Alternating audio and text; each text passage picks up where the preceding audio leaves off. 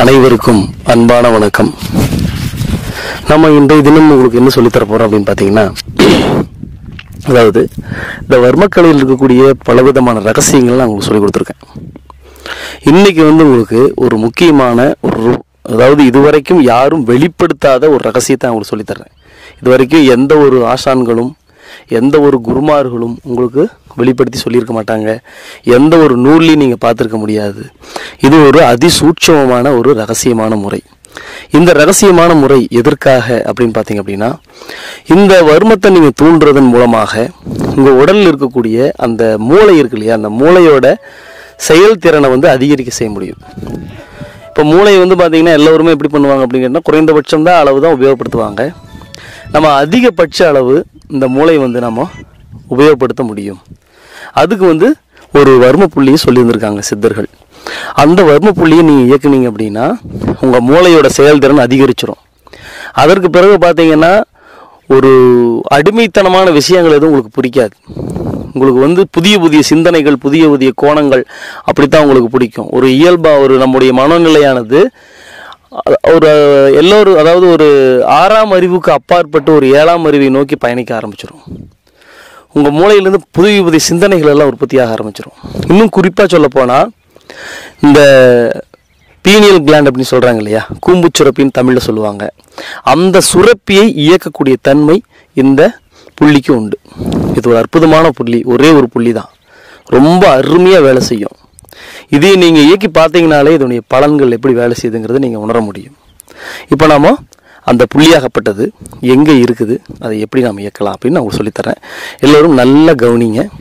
ஏன்னா இது வந்து இருக்கக்கூடிய இடம் இந்த மூக்கினுடைய நுனிப்பகுதி இருக்கு இல்லையா? இந்த நுனிப்பகுதிக்கு அடியில் இருக்குது இந்த மூக்கினுடைய நுனிப்பகுதிக்கு அடியில் இந்த இடம் இருக்கு இல்லையா? இதுக்கும் உள்ள இப்படி க- விரல் வச்சிங்கன்னா இந்த ரெண்டு விரல் வைக்கணும். அதாவது கட்டை விரலையும் ஆட்காட்டி விரலையும் இப்படி வச்சிங்க அப்படின்னா அந்த இடத்துல வந்து ஒரு தண்டு மாதிரி ஒன்று தெரியும் பாருங்க. மூக்கோட தண்டு முனை இந்த முனையில் தண்டு மாதிரி இருக்கும். இந்த தண்டில் தான் இந்த வர்மம் இருக்குதுங்க. இந்த வர்மத்தை இயக்கணும் அப்படின்னா என்ன ஆகும் அப்படின்னா இது நேரடியாக கண்கள் வழியாக மூன்றாவது கண் சொல்லப்படக்கூடிய அந்த பிட்யூட்ரி பீனியல் கிளாண்டில் போய் வேலை செய்ய ஆரம்பிக்கும்.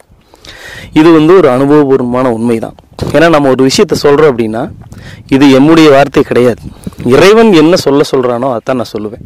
புதிதாக நான் எதுவும் புதிதாக சிந்திச்சு செயல்பட்டு அப்படி சொல்ல சொல்கிறதில்ல இறைவன் என்ன சொல்ல சொல்கிறான் அப்படிங்கிறத நம்ம வந்து மக்களுக்காக இதை சொல்லிடுறோம். இது பின்னாடி வரக்கூடிய நம்முடைய தமிழ் பேசும் தலைமுறைகள் அனைவரும் இது பயன்பெறணும் இது எல்லாத்துக்கும் பயன்பெறணும் அப்படிங்கிற நோக்கில் நம்ம இந்த மாதிரி விஷயங்களை வந்து நம்ம வெளிப்படுத்துகிறோம் இது வரைக்கும் யாரும் வெளிப்படுத்தாத ஒரு ரகசியமான விஷயம் இது. இந்த இடத்துல நீங்கள் அழுத்தம் கொடுத்தாலே போதுமானது. நீங்கள் எதுவுமே செய்ய வேண்டாம். இந்த வாசி யோகம் குண்டலி எதுவுமே செய்ய வேண்டாம். இந்த இடத்துல அழுத்தம் கொடுக்கும்போது இந்த அழுத்தமாகப்பட்டது கண்கள் வழியாக இந்த அழுத்தும் போதே கண்கள்லேருந்து உங்களுக்கு தண்ணி வர ஆரம்பிச்சிடும் கண்கள் வழியாக அந்த மூளையை போய் அந்த நரம்பானது நேரடியாக போய் தொடுது. அப்போ என்ன அப்படின்னா அறிவு வந்து மேம்படுங்க. நம்ம அறிவு. செயல்திறன் ஊக்கமாகும். நம்முடைய அறிவு வந்து மேம்பட்டு இருக்கும். இப்போ சரியாக படிக்காத குழந்தைகள் இருக்காங்க. இது வந்து கொஞ்சம் மந்தமாக இருக்கக்கூடிய குழந்தைகள் இந்த மாதிரி இருக்கிறவங்க இல்லை பெரியோர்கள் இந்த மாதிரி ஒரு அடுத்த நிலைக்கு நம்ம போகணும். அறிவின் அடுத்த நிலைக்கு நம்ம போகணும். நம்முடைய வாழ்க்கை முறையின் அடுத்த நிலைக்கு போகணும் அப்படின்னு ஆசைப்படுறவங்க. குறிப்பாக ஞானம் பெற விரும்புபவர்கள். என்ன பண்ணணும் அப்படின்னா இந்த இடத்தை இயக்கணும். அது எப்படி அப்படின்னு சொல்கிற பாருங்க.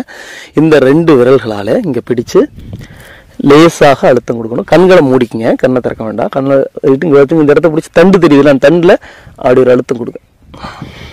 மெதுவாக அழுத்தி மறுபடியும் ஒரு மெதுவாக கொஞ்சம் லேசாக வலி வர்ற மாதிரி அழுத்துங்க.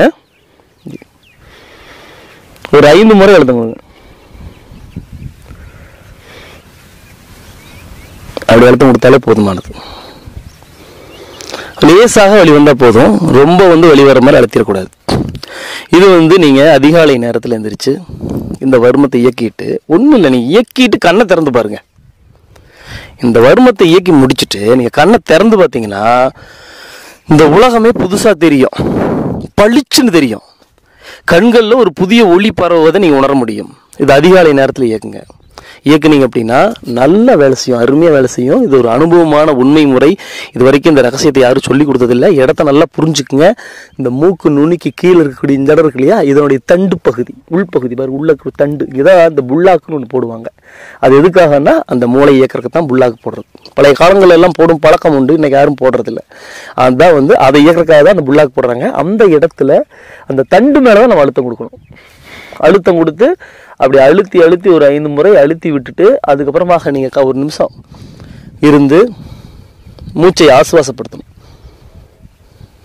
மெதுவாக மூச்சு போயிட்டு வர்றதை ஒரு ஆசுவாசப்படுத்தி அதுக்கப்புறமா கண்களை திறந்து பாருங்கள் கண்கள் எவ்வளவு பளிச்சுன்னு இருக்கும்.